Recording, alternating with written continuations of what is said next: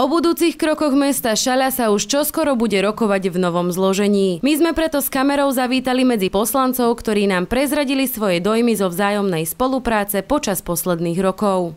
Ja som vlastne na do mestského zastupiteľstva nastúpila ako nováčik a teda ako najmladšia poslankyňa, takže pre mňa to bolo všetko také nové, bola to pre mňa výzva a či by sa dalo niečo robiť lepšie, no viete, vždy sa dajú veci robiť lepšie, ale uh, myslím si, že, že ako kolektív sme uh, tu vychádzali, mali sme rôzne názory, odlišné názory, čo je ja si myslím, že úplne v poriadku, ale myslím si, že sme sa navzájom rešpektovali a to je dôležité. Teraz som bol druhé volebné obdobie, spolupráca bola dobrá, boli sem tam výmeny názorov, ale všetko v rámci normy, takže ako ja som spokojný.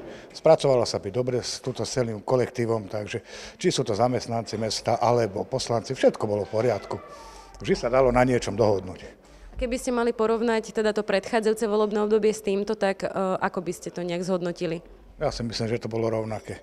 Spolupráca bola, takže ja hovorím, nebol s nikým problém, tak bolo to dobré. S niekým si vychádzate, s niekým si nevychádzate, teraz nemyslím ako ľudský, ale skôr názorovo na jednotlivé buď problémy, alebo veci, ktoré sa riešia na tomto fóre. Myslím si, že v dosť veľa podstatných veciach mm, sme sa nezhodli, ale je tu nejaká väčšina, ktorá sa vždy zhodla, tak my, alebo tí, ktorí hlasujeme buď za alebo proti, ale vždy opačne teda, myslím v tom ktorom bode, jednoducho to musíme prijať, ako to je. Mám za sebou dve volebné obdobia.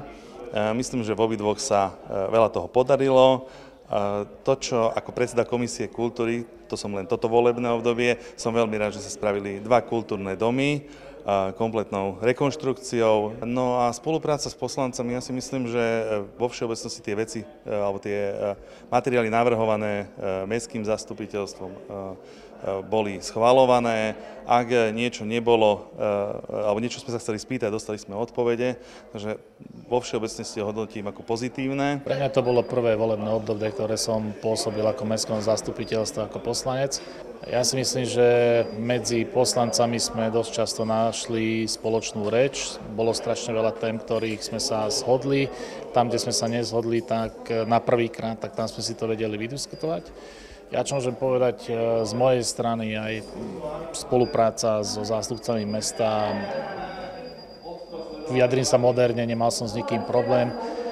Našťastie som nemusel veľa, veľa nejakých podnetov riešiť, ale vyšli mi v ústrety. Pre koho táto éra končí, u koho pokračuje a taktiež pre koho začína, sa dozvieme v nadchádzajúcich komunálnych voľbách, no z časti i v pripravovanej reportáži. S poslaneckou stoličkou sa totiž po vyše dvoch desaťročiach slávnostne rozlúčili hneď traja členovia, ktorí sa s nami podelili o stručný prierez ich prácou pre toto mesto. Veronika Hrobáreková, Televízia Krea.